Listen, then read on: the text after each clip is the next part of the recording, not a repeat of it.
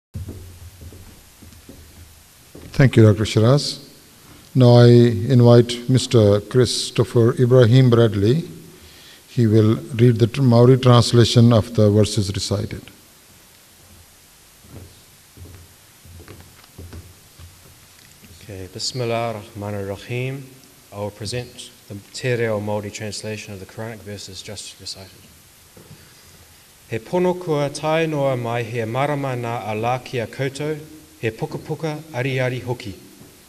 E ārahi ai a Allah ki te ara o te rangimārie ki ērā tāngata e aru atu ana i Tana manawāreka.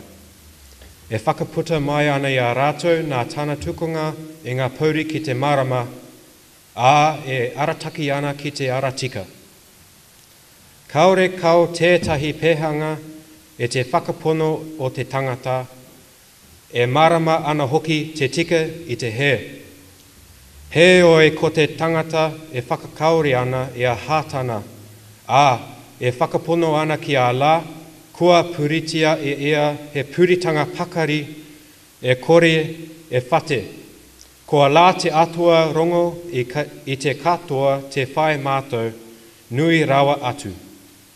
Tuturu ko ratou e whakapono ana me nga Hurai, me nga iwi e etahi atu pukapuka me nga Karaitiana ko wai o ratou ka whakapono ki a Allah me te ra.